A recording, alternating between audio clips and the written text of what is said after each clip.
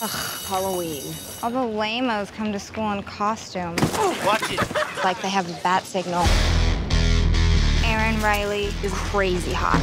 You got the invite to his party tonight, right? I noticed you and I are listed in the top 200. I think it's alphabetical. Oh my god, he's coming over.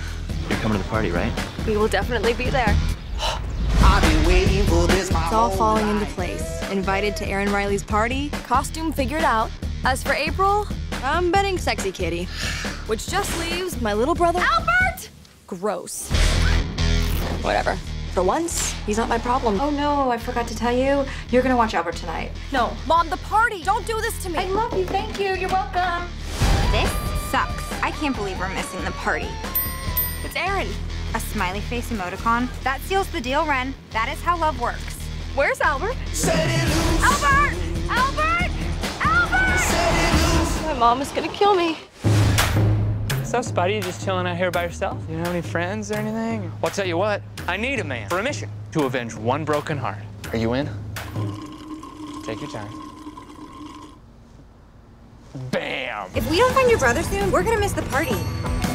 Oh, nerd alert.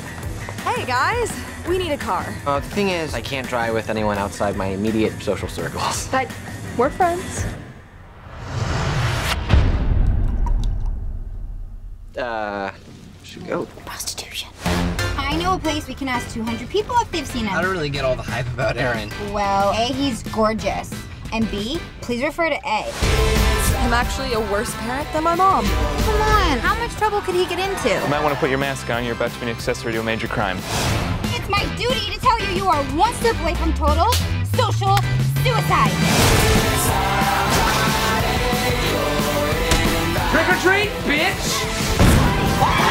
Please, we have a situation involving a musket and a drumstick.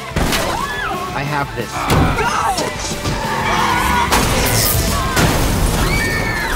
I did not have it.